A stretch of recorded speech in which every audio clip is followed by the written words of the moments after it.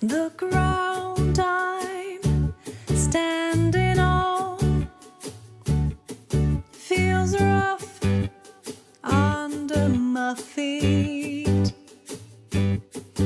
The sky.